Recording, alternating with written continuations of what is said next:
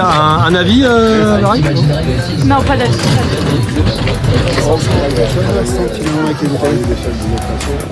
Tu bois un commentaire hein Aucun. Monsieur Bois est absent aujourd'hui.